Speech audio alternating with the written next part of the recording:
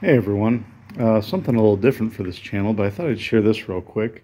So this is my John Deere X300, and a couple years ago I really wanted to have the ability to attach a bucket or you know some kind of container on the back to haul tools or pick up trash, etc. They got mounting points, and they've got an official, like it's kind of like a steel uh, frame that will then hold a standard five gallon bucket.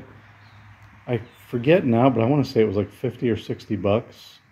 It was, you know, for some that just holds a bucket, you know, I get it, but uh, I decided to do DIY route. So this is what I came up with. This is, uh, yeah, it's just some scrap wood. And uh, what I did is I got a couple boards there.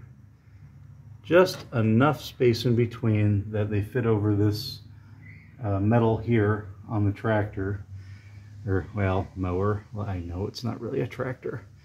And you know I cut an angle on the one just so it'd slip on easier. And once it you know gets to where that's fitted over that uh, steel piece there it stays pretty secure. And then these are just holding where the bucket goes here. So this just goes on like so. And it's unless you're really hitting some big bumps, it's not going anywhere. I've never had it fall off.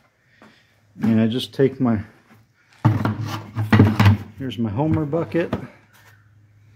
And I've got some bungees that just hold it in place because I did have the bucket pop off, but the bungees make sure that doesn't happen. And that's it. Now I've got a bucket attached and I'll use that. I'll pick up twigs or other trash I find in the yard, throw it in there, or maybe I'll throw some tools in if I know I'm going to need them. It was just a cheap, uh, almost free way of making that happen. I did buy some green spray paint, just a can of cheap green spray paint, just so it looked a little nicer. But that's it. I just wanted to share that real briefly. Uh, we're actually getting rid of the John Deere because we're going to have a small yard.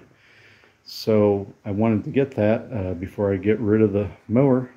wanted to document my little DIY project. So thanks for watching. God bless, and we'll see you for the next video.